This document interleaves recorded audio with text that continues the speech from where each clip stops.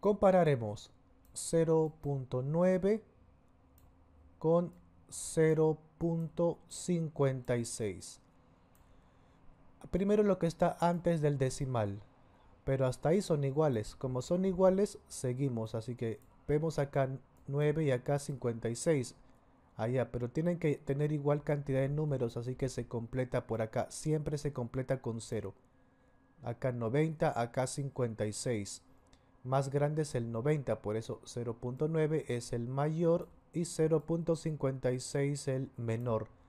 Ahora siempre viendo desde este lado, como esto ha resultado mayor, va el símbolo de mayor entonces, así que viene por acá.